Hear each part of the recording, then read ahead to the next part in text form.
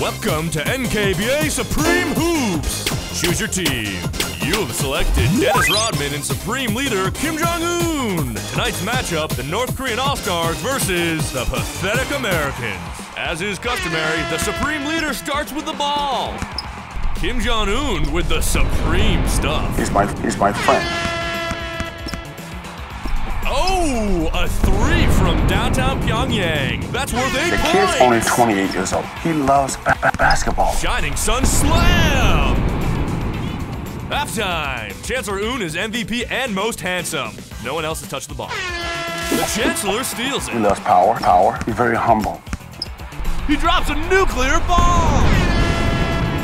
Oh, it's a block party! A workers' block party! Winners I want Obama to call, call, call him.